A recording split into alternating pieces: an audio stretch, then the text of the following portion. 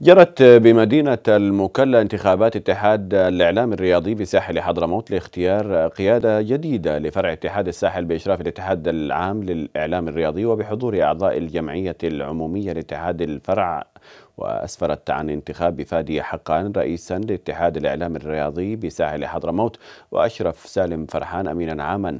وأشار مدير مكتب وزارة الشباب والرياضة بساحل حضرموت حسن مسجدي إلى أهمية انعقاد هذا الاجتماع في تشكيل قيادة جديدة بالساحل تسهم في النهوض بواقع الإعلام الرياضي بالمحافظة.